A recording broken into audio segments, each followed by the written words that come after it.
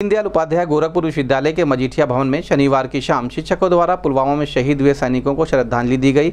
इस दौरान शिक्षक संघ के अध्यक्ष प्रोफेसर विनोद कुमार सिंह ने कहा कि निश्चित तौर पर यह बहुत ही निंदनीय और शर्मनाक घटना है। इसका बदला अवश्य लेना चाहिए। हम सभी शिक्षकगण, प्रधानमंत्री नरेंद्र मोदी से यह आग्रह करते हैं कि सैनिकों की कुर्बानी का बदला जल्द से जल्द लिया जाना चाहिए।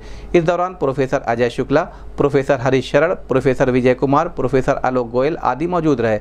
इस संबंध में गोरखपुर न्यूज़ संवाददाता से बात करते हुए डॉक्टर आरती यादव और शिक्षक संघ के अध्यक्ष प्रोफेसर विनोद कुमार सिंह ने कहा।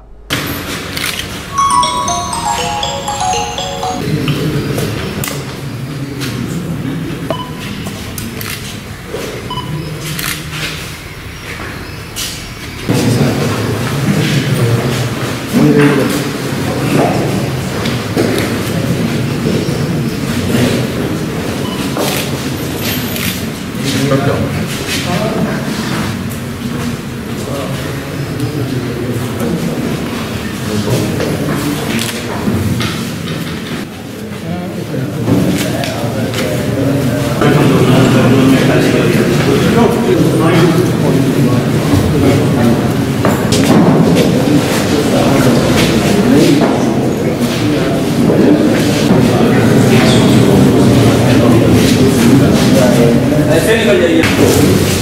どうも。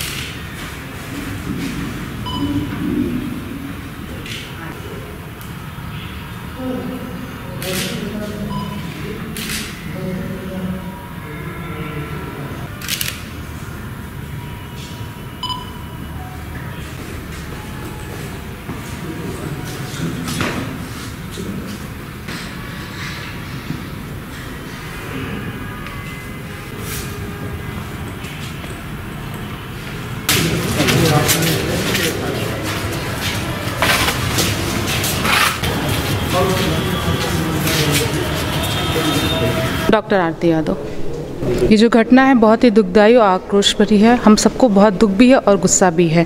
बहुत अब घटना हो चुकी है, अलर्ट जारी होने के बाद भी ये घटना हुई।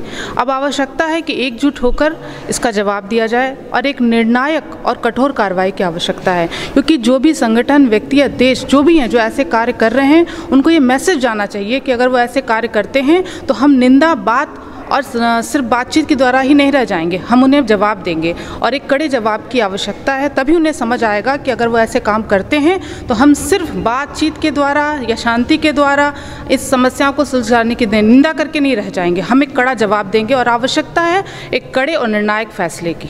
प्रोफेसर विनोद कुमार सिंह, अध्यक्ष शिक्षक संघ। जो पुलवामा में ये जो कायराना और हताशा में जो कार्रवाई आतंकवादियों द्वारा की गई है, मेरा ये मानना है कि अब निंदा और शांत की वार्ता का कोई औचित्य नहीं बनता है।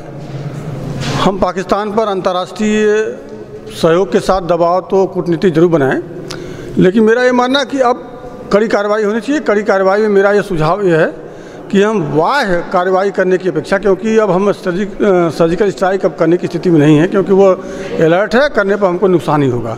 हमें इंटरनल सर्जिकल स्ट्राइक करनी होगी, जो हमारे आंतरिक जो उनके सहयोगी हैं जो स्लीपर सेल हैं, उनके जो पाकिस्तान द्वारा प्रायोजित आतंकवादियों को जो सहायता देते हैं, जो अलगावदी संगठन हैं, जो वहाँ उस तरह के नागरिक हैं, जो सहयोग सपोर्ट करें, उनकी खोज करके उनके खिलाफ कड़ी से कड़ी कार्रवाई की जाए जिससे एक मैसेज जाए कि हम आतंकवादियों को शरण देते हैं तो हमें उसका खामियाजा भुगतना पड़ेगा। और अब निश्चित तौर पर पाकिस्तान को भी इस बात का एहसास कराने की आवश्यकता है कि अब हम हमेशा बैकफुट पर या शांतिपूर्ण नहीं रहेंगे, हम अब ऑफेंसिव रहेंगे। यदि आपने कोई कार्रवाई की तो उसके प्रत्युत्तर में हम उसका डबल आपको चोट पहुंचाएँगे, तभी इसका, इस तरह की कार्रवाई की पुनरावृत्ति नहीं हो पाएगी। तो अब भारत सरकार से मुझे अपेक्षा भी है और ये पूर्ण बहुमत की सरकार है। मोदी सरकार से हमें आशा भी है कि वह निश्चित ही सर्जिकल स्ट्राइक तरह की कोई न कोई अवश्य कड़ी कार्रवाई करेगी, जिससे कि बाद में कोई इस तरह की घटना पुनः, इस तरह की घटना की पुनरावृत्ति न हो सके।